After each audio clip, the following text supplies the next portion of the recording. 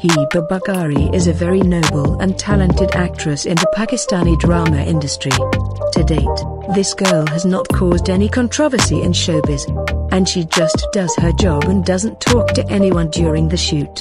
If we talk about the age of Hiba Bukhari in the year 2021, then she is 32 years old. And the actress doesn't have an official Instagram account yet. Because she doesn't like to be more social and attend showbiz parties because she is not allowed by her family.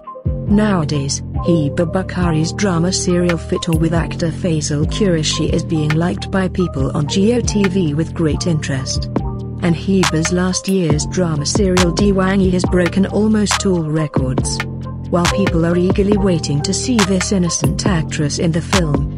But in today's article, we will see how Hiba Bukhari takes pictures of herself when she is on the shooting set. Let us tell you one thing here that she is not at all interested in taking pictures or selfies. And all these pictures that you will see below are all taken suddenly by the photographer.